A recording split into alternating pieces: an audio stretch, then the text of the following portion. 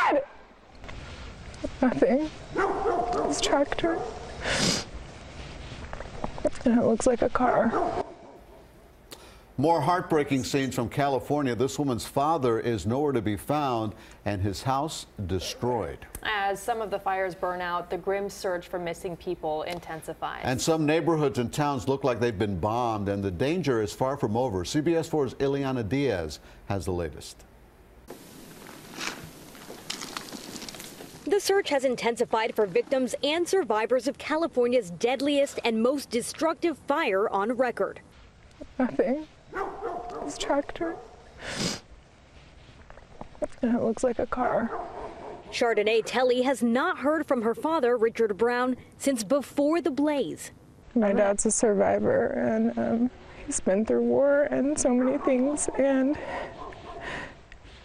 there's a possibility he could have made it through this.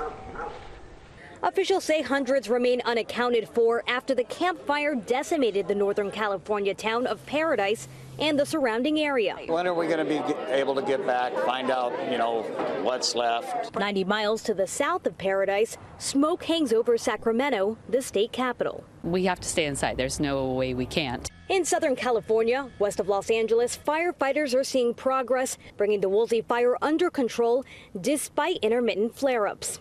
Evacuation orders are lifted in parts of Southern California. In Calabasas, that means families are coming home for the first time, and in many cases, devastated to see there's nothing left.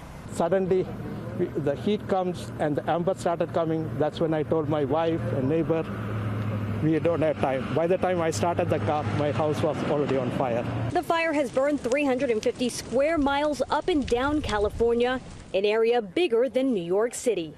Ileana Diaz, CBS News, Calabasas, California.